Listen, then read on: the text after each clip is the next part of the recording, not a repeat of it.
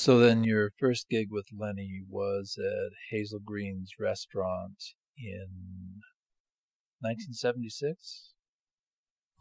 I guess so. And that was that that came about through um, The, the Augusta Jazz Society. right. Okay. and people knew him and people knew me and basically they put us together and and uh, uh, we played a little bit of duo stuff um, uh, this guy neil neil mart was a piano player and he knew lenny and um, and uh, had heard of me i guess and uh, he put he put the thing together and he had a party a little gathering at his house and i got a chance to play with lenny and realized that there was you know there's no way i could escape him we, we locked in immediately and I felt this amazing sense of, of communication right off the bat. And uh, I enjoyed him, and he seemed to be enjoying me.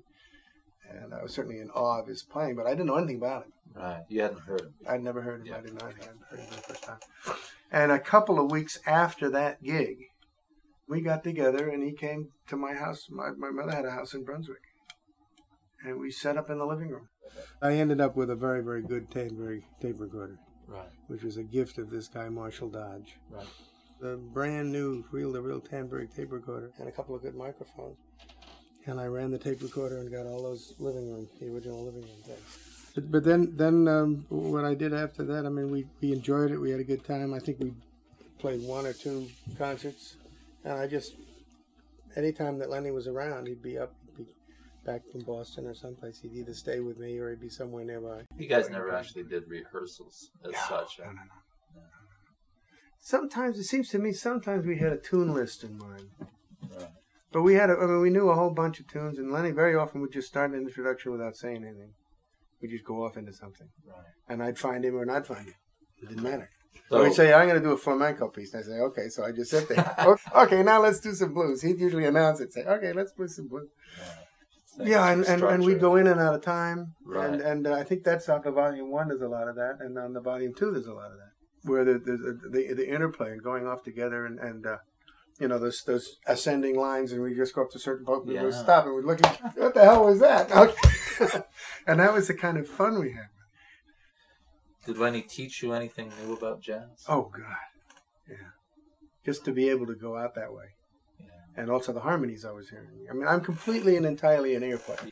And I started out arpeggiating chords because I was my next door neighbor was Benny Goodman, and that's the way I started to improvise. I hear the chords, and I was mimicking him playing all his solos, and so I assimilate what I hear.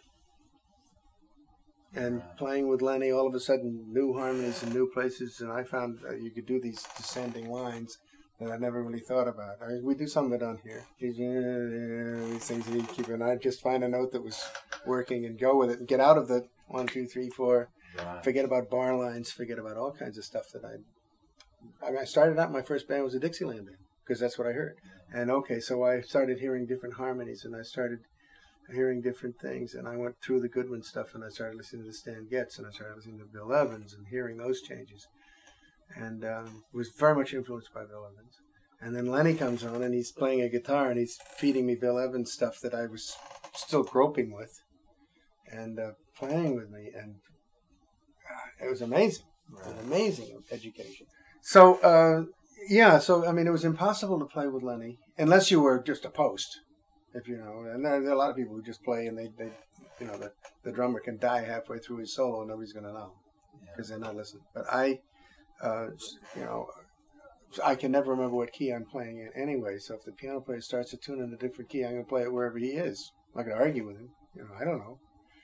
And so Lenny, would, we could do key changes. We could do all kinds of stuff. Um, um, so so it was a matter of listening, and and, and he found out too that that. Uh, um, very quickly, I think, with me that uh, that he could do that right in the middle of a solo, right in the middle of my solo. He could go into three four time, and I was going to follow him right into the right into the bushes, right through into the right into the slop, right into the swamp. We'd go follow him right into it. He couldn't lose me, and so we, we had a lot of fun chasing each other around that way. And I mean, he could lose me because he could do stuff that I couldn't hear. But he was so he was very kind to me. But he also had fun with me. I think. You know, we, we, uh, we I'd heard from grinning after we played, not from playing. I'm just looking at him. My Yeah. face would be, yeah, I'd have to squeeze it back together here. And I think he felt, I think he felt very comfortable with me. Um, because I always felt I was hanging on by a thread. it's, for dear life, see if I can keep up with anything.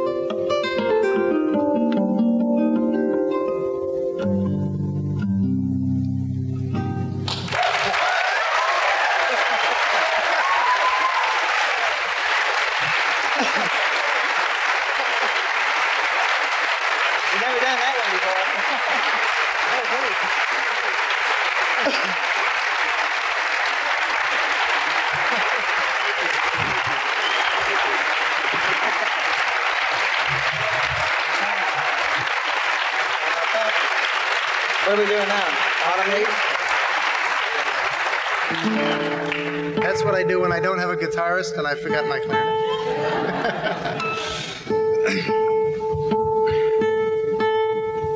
this is another oldie but a goodie called Autumn Leaves.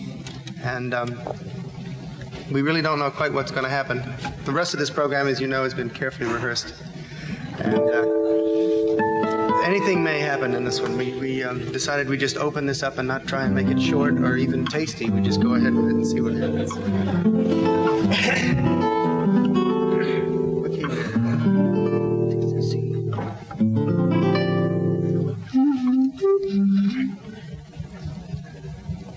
what, what? See?